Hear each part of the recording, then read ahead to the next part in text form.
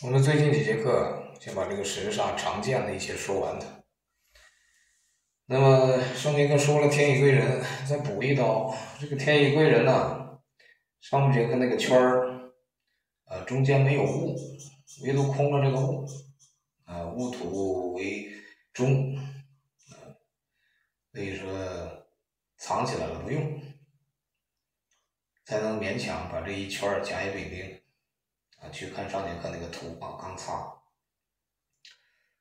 还有一种说法呢，叫这个穿宫押韵，就是盲派的这个，它的一个原理出处啊，就是压到这一天的时候，比如说，呃，甲贵人在丑位，那么实际上他的贵人位是在子午，那为什么这个叫贵了呢？因为他把这个贵人合住了，六合，六合是最纯洁、最简单的，哎，就是要和他把这个贵人们合来，那所以才贵，所谓合贵，啊，那才是你的，这是一种说法。不过听听也很有道理，因为每一个都刚好啊串压到这个地方，那也是其中一种解释。呃，勉强说得通。那么我们说华盖，华盖呢是寅午戌见戌，巳酉丑见丑，啊，申子辰见辰，啊，就是亥卯未见未。华盖将星一马，刚好是三个位置，什么位置呢？就是说华盖它是代表一种静。啊头顶乌云遮盖，遮风挡雨。但是这个盖子如果太大了，那遮天蔽日了。所以说神煞都有好坏，他就好静，这个人能沉淀下来。哎，特别是现在年代人很浮躁，那么这个华盖就是在时代来讲就起一个一定的好作用。如果他太沉闷呢，太静，那就成了那辰戌丑未四大皆空了，成为修行僧道之命了。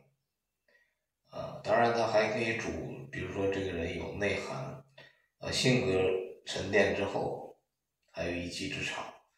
因为当这个库逢冲的时候，他马上出来一股力量，那个时候比任何其他的这个，呃，这个寅跟午正位一马劲劲儿都要大。那么下一个呢，将星，将星就刚好是他这个中神中位，寅午戌见午。啊，然后这样，那么中神呢，他就是主将，那凡事呢，我可以独当一面，是吧？即使不是我创业，我也能自己啊独挑一摊儿，就这种心情。那当然，将一般的男人更好一点，如果女人就显得强势了。看他的局，如果这个女人这个局很那个，但是她能，哎，独掌起来，相对的也较好，但是比起这些富贵命啊，可能苦了一点女人当男人用啊，一马有点不一样，在哪儿呢？这个寅午戌见身，这是特别的一个，然后其他的呢，哎，就是。三合之位所生的那个支，它的隐身四害，隐身四害主动嘛，主长生。他生他就要动，一马本来就好动，这种人的心性。